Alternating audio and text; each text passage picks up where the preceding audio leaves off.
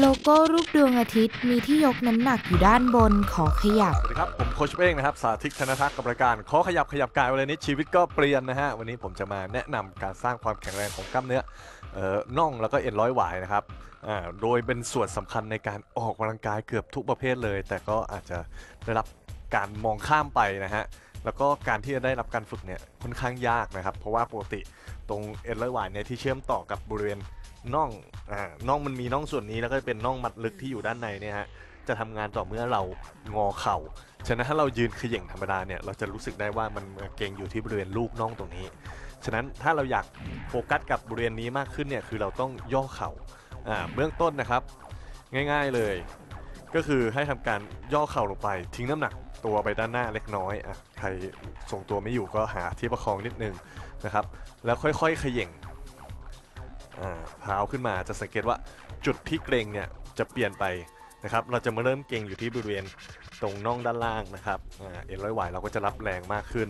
ทีนี้มีข้อเขาเรียกว่าจุดเน้นข้อควรระวัง คือเวลาเราเขย่งขึ้นมาเนี่ยตัวเราทั้งหมดเนี่ยจะสูงขึ้นนะครับ แล้วก็ย่อลง แต่คือถ้าเราโฟกัสไม่ดีเนี่ยคือตัวเป็นเราอยู่ที่เดิมแล้วขยับแค่แค่ขานะครับ แรงมันก็จะตกลงไปที่ ตรงบริเวณเอ็นร้อยหวายน้อยลงก็จะไม่ค่อยแข็งแรง ฉะนั้นคือล็อกทุกส่วนของร่างกายไว้แล้วเวลาเราเขย่งเนี่ยตัวเราจะลอยขึ้นไปทั้งหมดยิ่งเราทิ้งน้ำหนักไปด้านหน้ามากเท่าไหร่นะครับ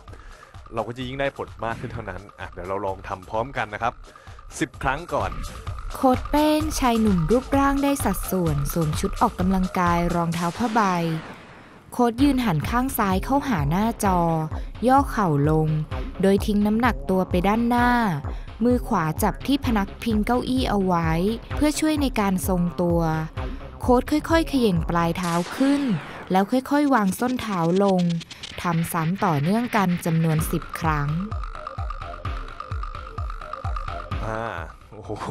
หลายคนนี่อาจจะรู้สึกว่ามันเก่งแล้วมันก็สั่นมาก เพราะว่าเออปกติเราอาจจะไม่เคยเน้นนะครับ มาใช้งานกล้ามเนื้อส่วนนี้แล้วก็เออบางคนเนี่ย ต่อให้มีอาการบาดเจ็บนะครับ การที่เราค่อยๆทำเพิ่มความหนักไปเรื่อยๆเนี่ยก็จะทำให้อาการบาดเจ็บดีขึ้นด้วย ทีนี้วิธีการเพิ่มนะครับ ความก้าวหน้าในการฝึกก็คือเราจะเพิ่มความยากเบื้องต้นง่าย ๆเลยนะครับลดเหลือขาข้างเดียว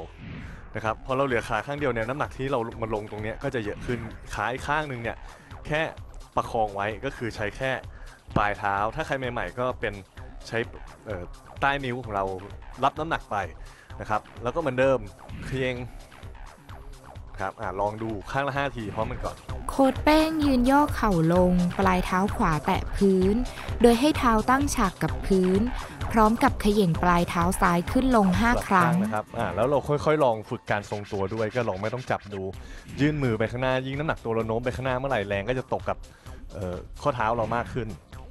5 ครั้งนะครับ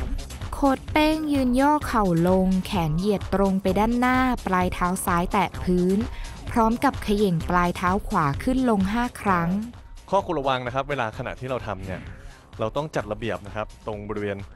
ข้อเท้าเข่าสะโพกให้อยู่ในแนวเดียวกันนะครับพอเราย่องไปเนี่ยสังเกตว่าเนี่ยเป็นแนวตรงนะครับพอหลายคนแค่พอทิ้งน้ำหนักมาฝั่งเดียว อาจจะเกิดการเข่าหุบเข้าทำให้เท้าแบนลง แล้วก็แรงที่เกิดขึ้นก็จะน้อยลงและอาจจะทำให้เกิดการบาดเจ็บได้ครับ หลังจากนั้น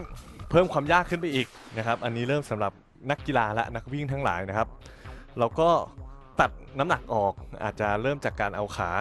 วางไว้บนเก้าอี้นะครับอ่าหลังจากนั้นเทน้ำหนักตัวไปนะครับ ค่อยๆเขย่งขึ้นมาเวลาเขย่งเหมือนเดิมให้ทั้งตัวสูงขึ้นอ่าลองข้างละ 5 ครั้งนะครับ โค้ดแป้งยืนยกขาซ้ายวางพาดไว้บนเก้าอี้ พร้อมกับย่อเข่าลงแล้วเขย่งปลายเท้าขวาขึ้นลง 5 ครั้งครับโค้ดแป้งเปลี่ยนไปยกขาขวาขึ้นวางพาดไว้บนเก้าอี้ทางด้านหลัง พร้อมกับย่อเข่าลงเช่นเดิม โค้ชยกแขนทั้งสองข้างเหยียดตรงไปด้านหน้า แล้วเขย่งปลายเท้าขึ้นลงต่อเนื่องกันจำนวน 5 ครั้งอ่านะครับใครเก่งกว่านั้นคือเราสามารถตัวเปล่าได้เลยก็คือเป็น single leg ขาเดียวนะครับอาอย่างที่บอกข้อเน้นย้ำสำคัญคือแนวเข่าเราต้อง อยู่ในทิศทางที่ถูกต้องแล้วก็เวลาเรายกขึ้นมายกทั้งตัวนะครับอย่าให้ตัวอยู่นิ่งเลยยกเฉพาะขาทำเป็นประจำทุกวันนะครับทำจนไม่ไหวนับเป็น 1 เซตอย่างน้อยออวันละ 2-3 เซตนะครับอาทิตย์ละอย่างน้อย 2 ครั้งรับรองว่าความแข็งแรงของเอ็นร้อยหวายเรามากขึ้นทำให้เราวิ่งดีขึ้นอย่างแน่นอนครับ